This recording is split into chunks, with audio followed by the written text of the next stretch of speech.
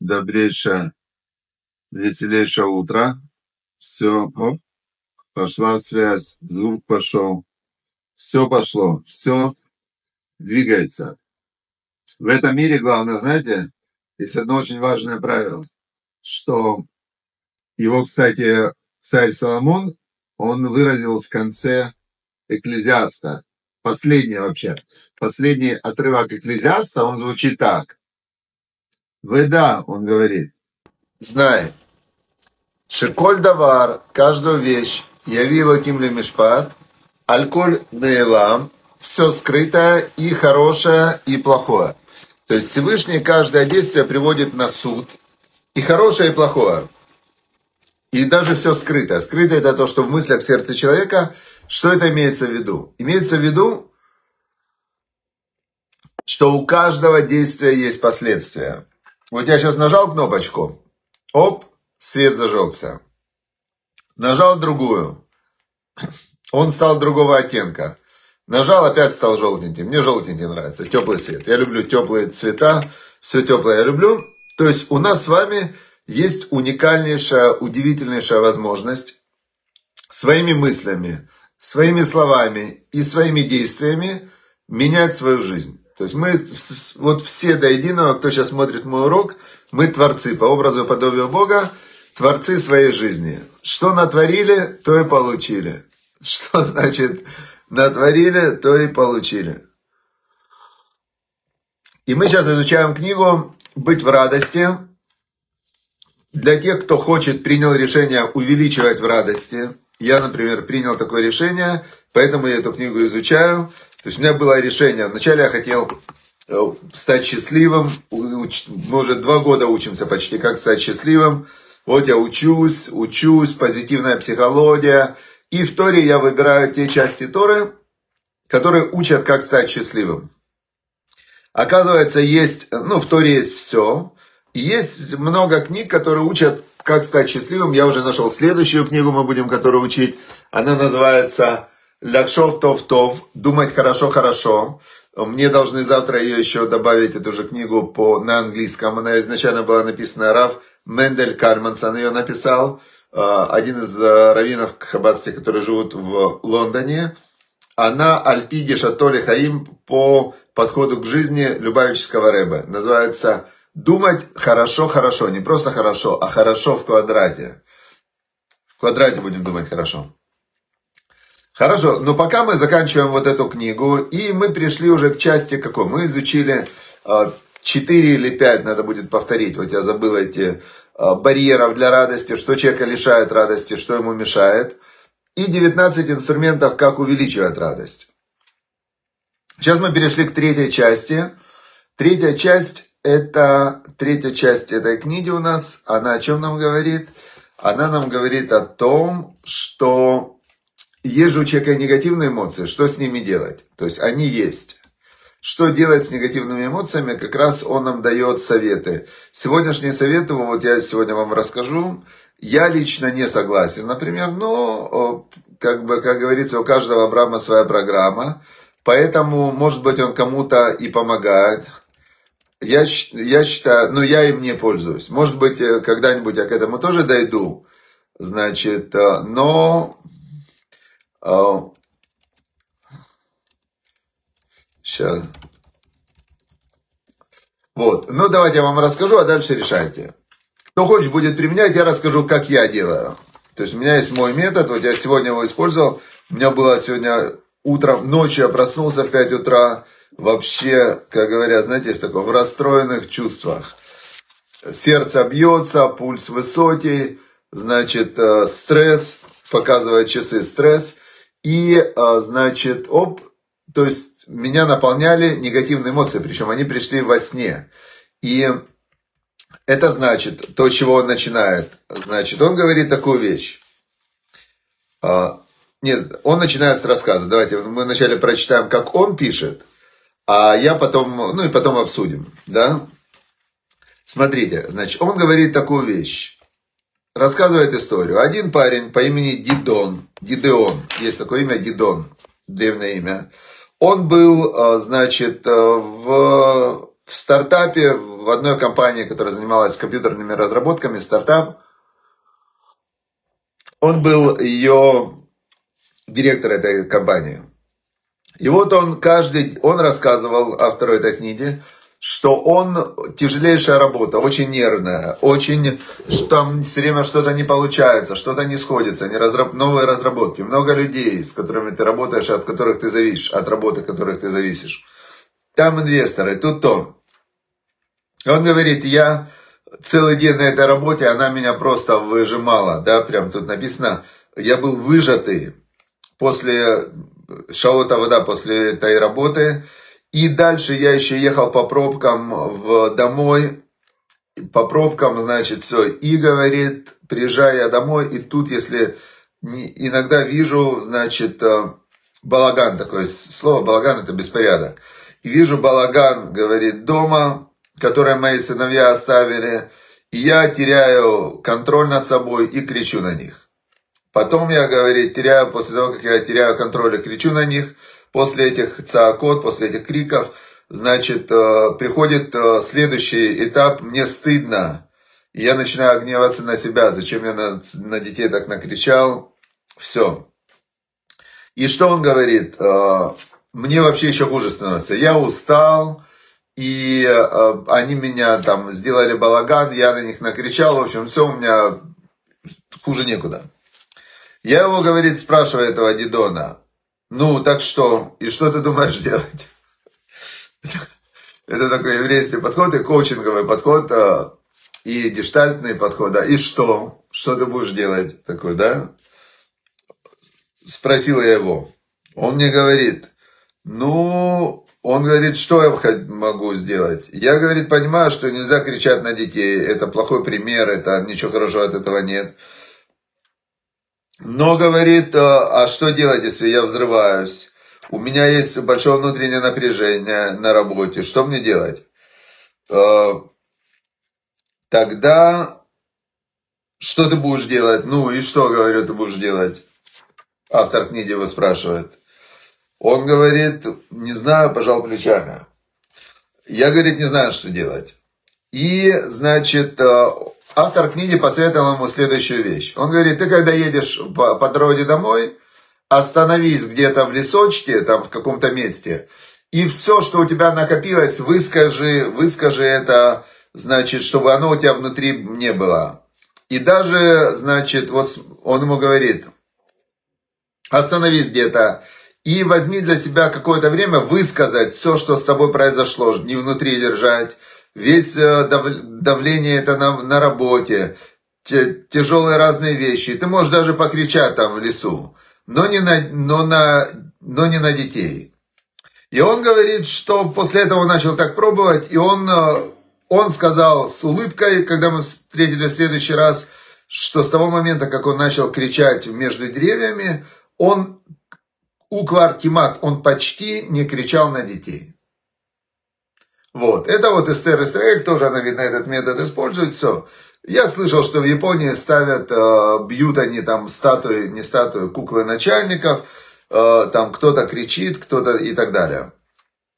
Он нам говорит такую вещь, что сердце человека, сердце человека это его, как назовем это, подсознание, да?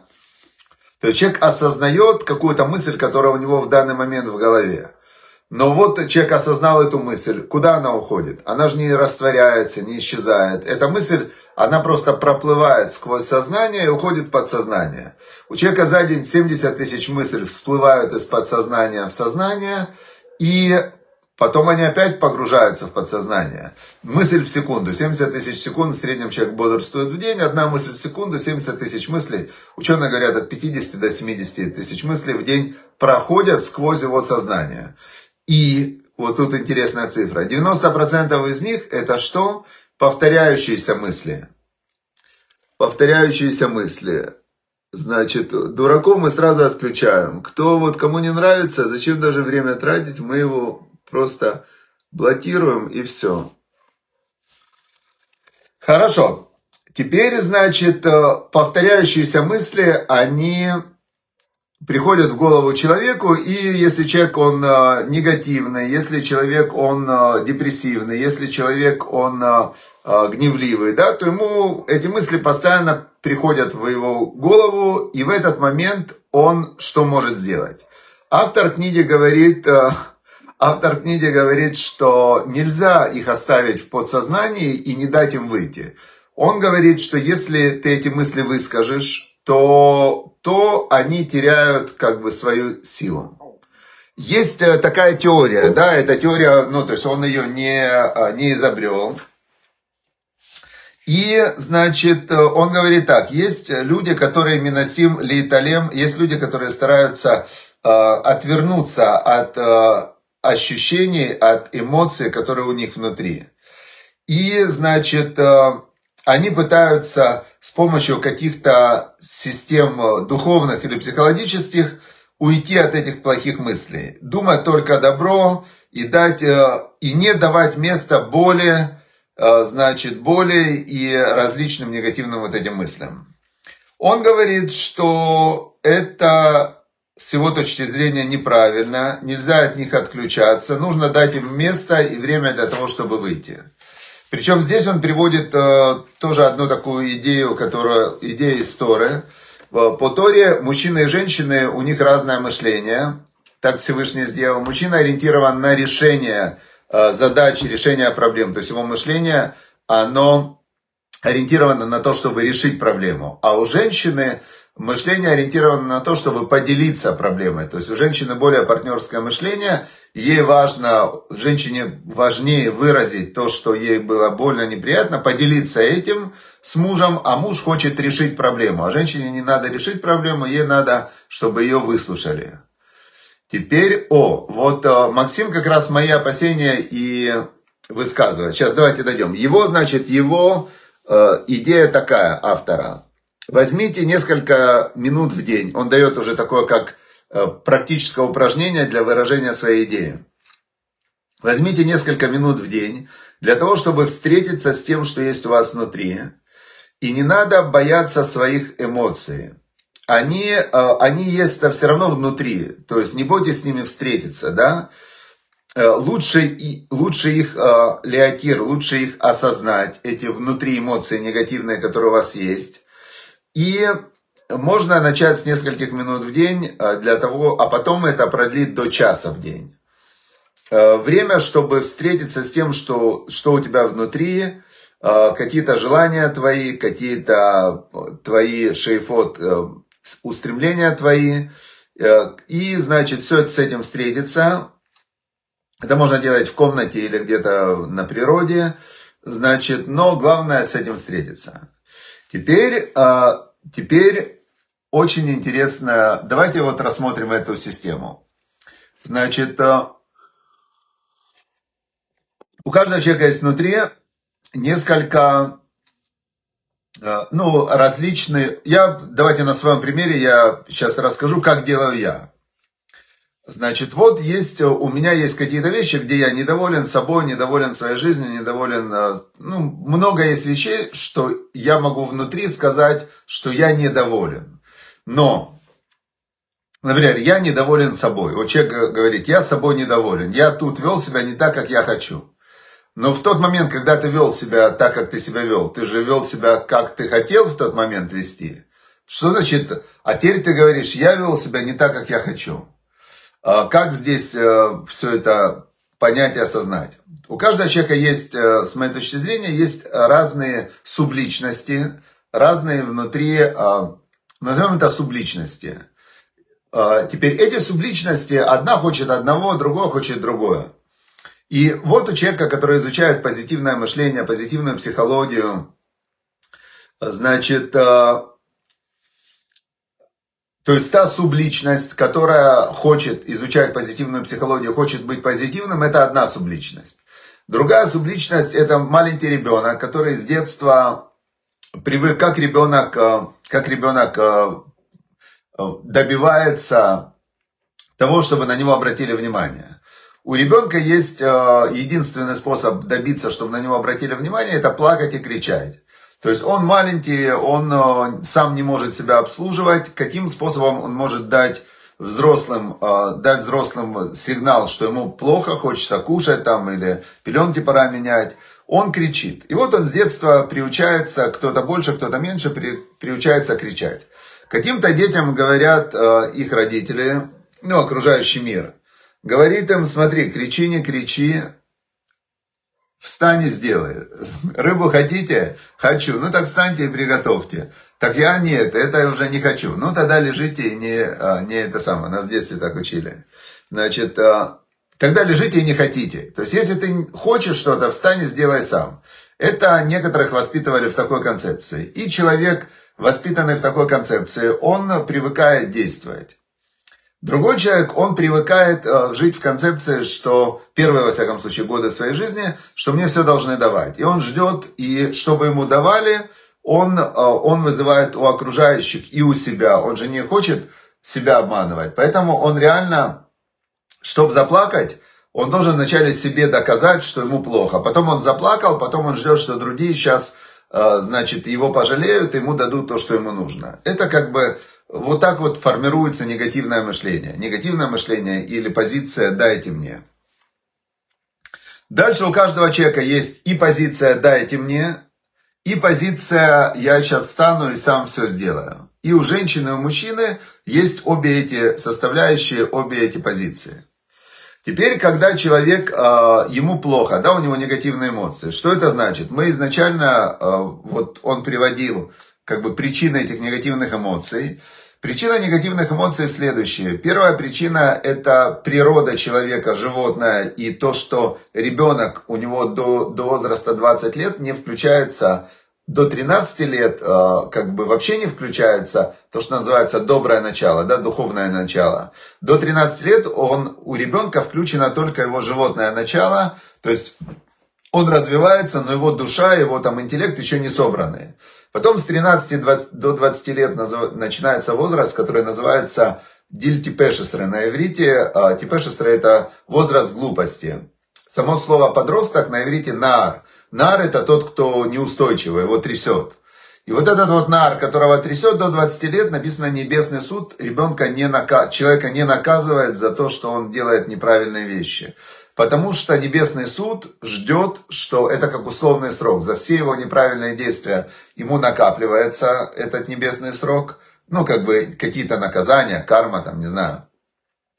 И потом, после 20 лет, если он осознал, раскаялся и сказал, что же я такого делал, значит, надо было мне по-другому себя вести, ему прощается, потому что он, ну, он уже стал взрослым в 20 лет. Но не все становятся взрослыми. Есть люди и в 50 лет э, дети, и в 70 лет дети, они всегда хотят от жизни только получать. Это детская позиция «дайте мне». Теперь позиция «дайте мне» вызывает у человека следствие какое? Мне не додали. То есть тот, кто говорит «дайте мне», мне все должны, не додали. А когда мне не додали, то человек рассматривает окружающий мир с позиции «чего мне не хватает». И вот когда я сегодня ночью проснулся, я понял, что все мои мысли с вечера, я забыл вечером сказать, за что я благодарен Всевышнему.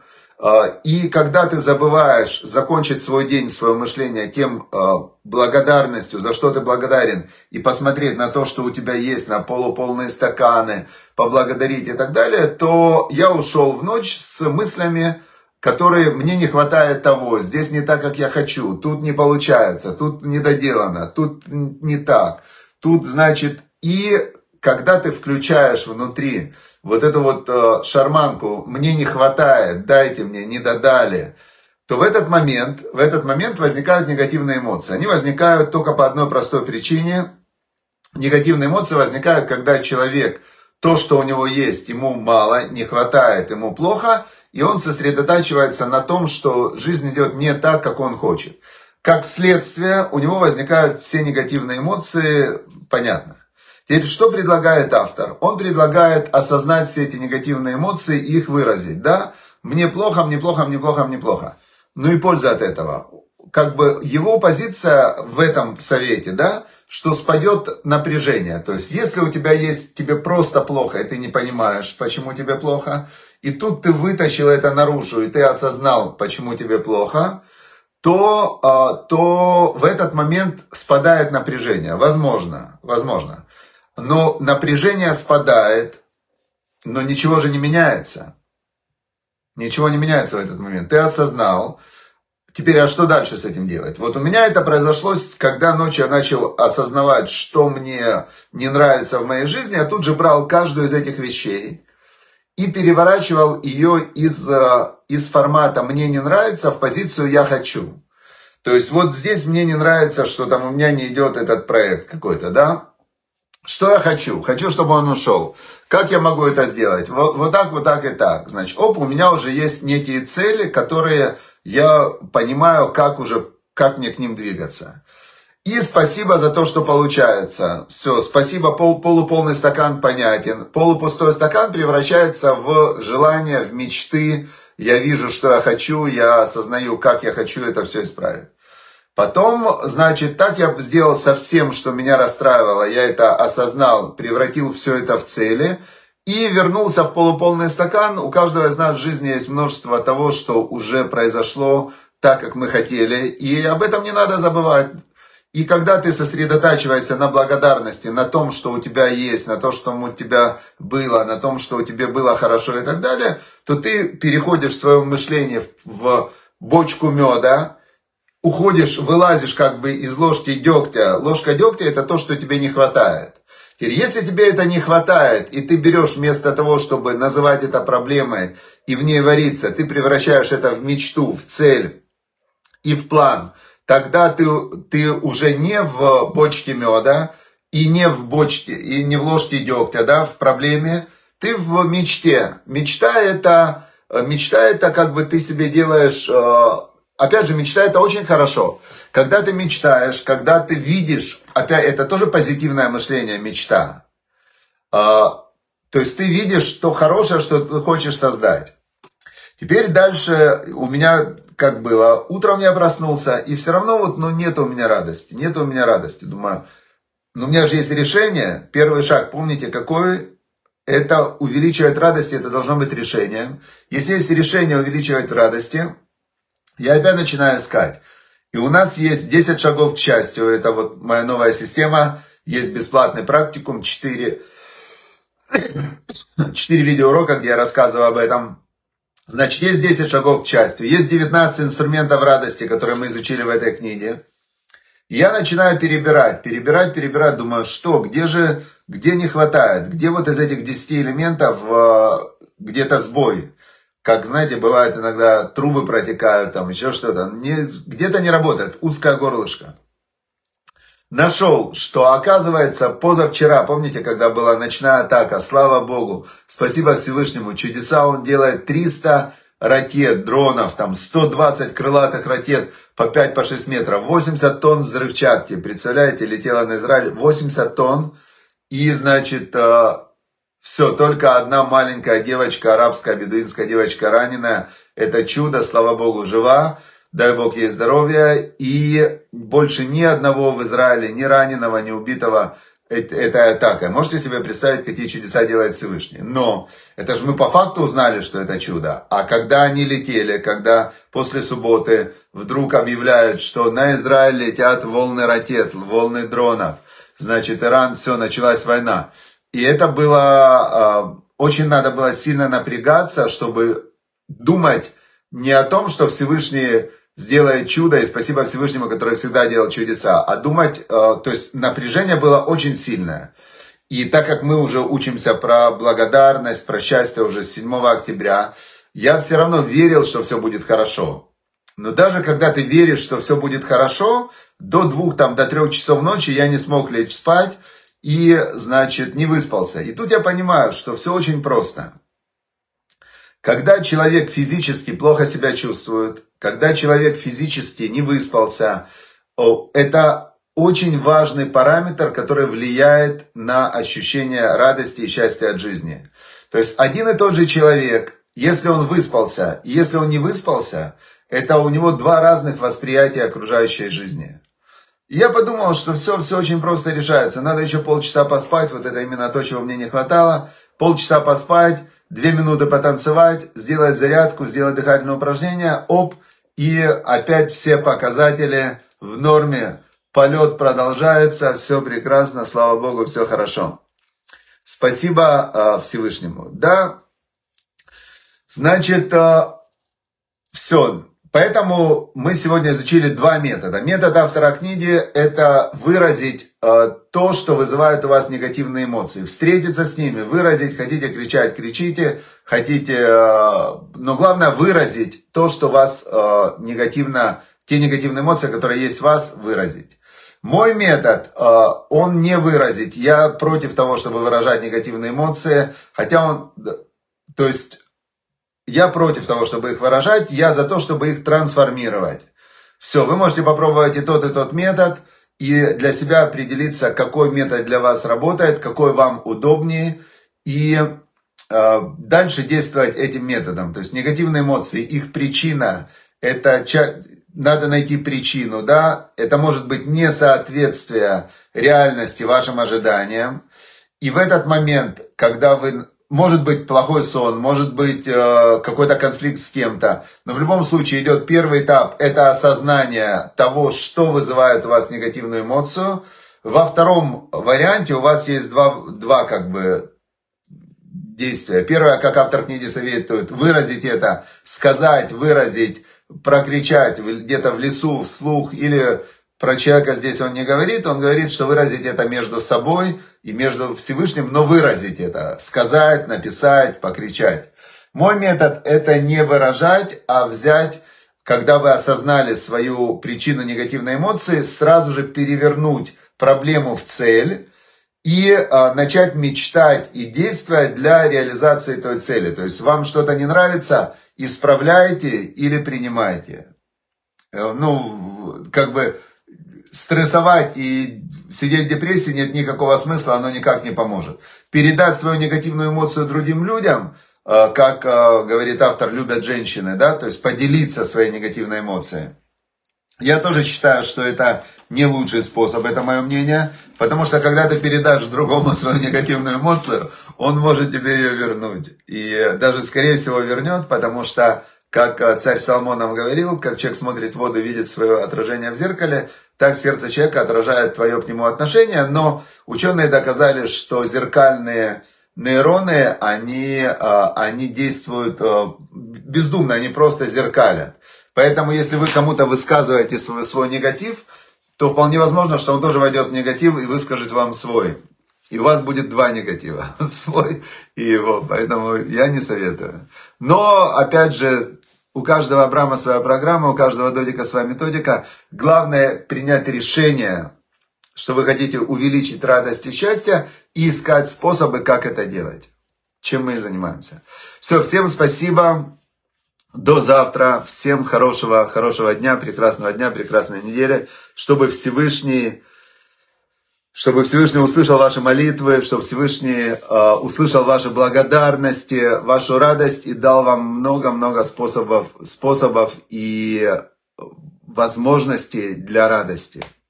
Все, всем удачи, успехов, счастливо, до завтра. thank you